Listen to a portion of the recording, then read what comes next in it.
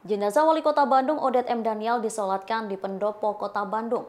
Gubernur Jawa Barat Ridwan Kamil juga terlihat ikut menyolatkan jenazah almarhum. Sambil terisak tangis, ia kemudian menyampaikan kata sambutan. Adapun jenazah Wali Kota Bandung Odet M. Daniel tiba di Pendopo Kota Bandung pada Jumat 10 Desember 2021. Sebelumnya Odet M. Daniel tak sadarkan diri saat akan berjalan menuju mimbar di Masjid Mujahidin karena akan menjadi khotib sholat Jumat. Dikutip dari tibujabar.id, jenazah Mang Odet dibaringkan di dalam keranda di pendopo. Tampak sejumlah ASN, kerabat, dan keluarga turut hadir. Selesai sholat jenazah, Gubernur Jabar Ridwan Kamil menyampaikan sambutan mewakili Pemprov Jabar. Saat menyampaikan sambutan, Ridwan Kamil tampak menangis. Suaranya berat dan sesekali terisak bersamaan dengan air matanya yang mengucur deras. Diketahui Ridwan Kamil menjadi sahabat terbaik Odet M. Daniel karena sempat bersama memimpin kota Bandung pada 2013 hingga 2018. Pada kesempatan itu, Ridwan Kamil mengatakan sangat kehilangan Odet M. Daniel.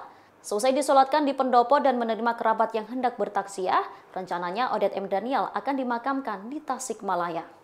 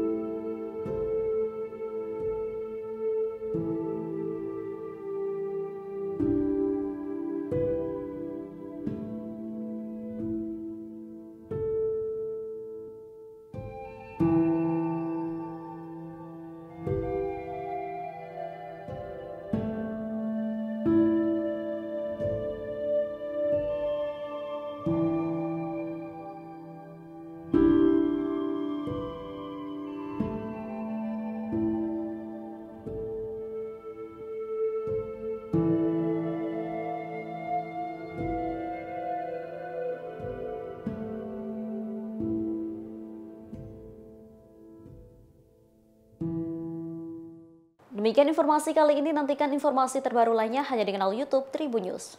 Terima kasih sudah nonton, jangan lupa like, subscribe, dan share ya!